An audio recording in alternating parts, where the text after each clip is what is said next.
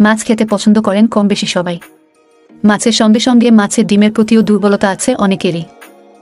বিভিন্ন মাছের মধ্যে ইলিশের ডিম খেতে সবাই পছন্দ করেন, তবে শুধু স্বাদ নয়, মাছের ডিম যে পুষ্টিগুণেও অনন্যতা হয়তো অনেকেরই অজানা।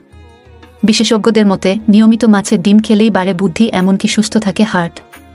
এই বিষয়ে ভারতের কলকাতার বিশিষ্ট পুষ্টিবিদ ঈশানী গঙ্গোপাধ্যায় জানান, মাছের সব অংশই উপকারী।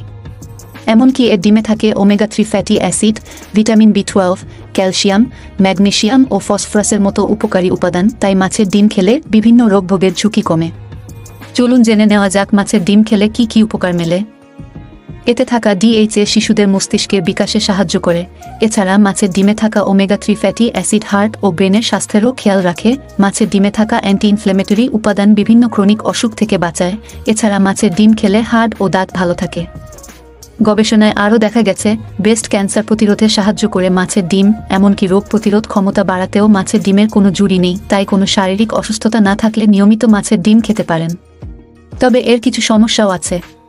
এই বিশেষজ্ঞের মতে, মাছের ডিম খাওয়ার কারণে কিছু অসুখও পিছু নিতে পারে। তিনি জানান, মাছের ডিমে থাকে প্রচুর পরিমাণে সোডিয়াম।